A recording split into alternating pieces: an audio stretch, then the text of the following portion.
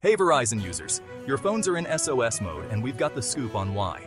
A major Verizon outage has struck users across the US, leaving many unable to make phone calls or use Wi-Fi calling services.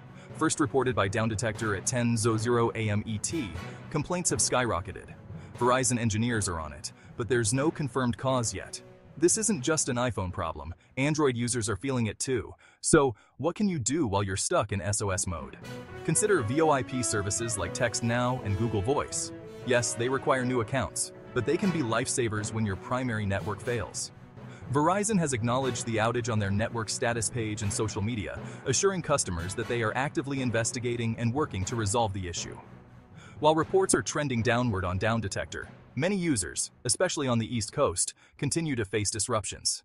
Stay tuned for more updates, and don't forget to check alternative communication services in the meantime. Hang in there, Verizon users.